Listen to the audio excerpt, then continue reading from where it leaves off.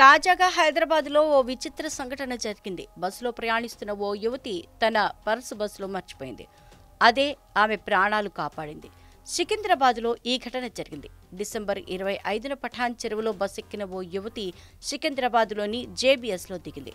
ప్రయాణికులందరూ bus దిగాక కండక్టర్లకు బస్సులో ఓ purse కనిపించింది. అదెవరిదో తెలుసుకుందామని పర్స్ తెరిచి ఆయనకు అందుబాటులో ఉన్న డబ్బులతో పాటు ఓ లెటర్ కూడా కనిపించింది. తెరిచి చూసిన ఆయన షాక్ అయ్యాడు తాను ఆత్మహత్య చేసుకోబోతున్నట్లు అందులో రాసి ఉండటంతో వెంటనే అప్రమత్తమయ్యాడు. వెంటనే ఆర్టీసీ ఎండీ వీసీ సజ్జనార్కు సమాచారం అందించాడు. పర్సులోని ఆధార్ కార్డ్ సూసైడ్ నోట్ను ఎండీకి ట్విట్టర్లో షేర్ చేశాడు. అప్రమత్తమైన ఆయన యువతిని గుర్తించి కుటుంబ సభ్యులకు అప్పగించాలంటూ సిబ్బందిని ఆదేశించారు.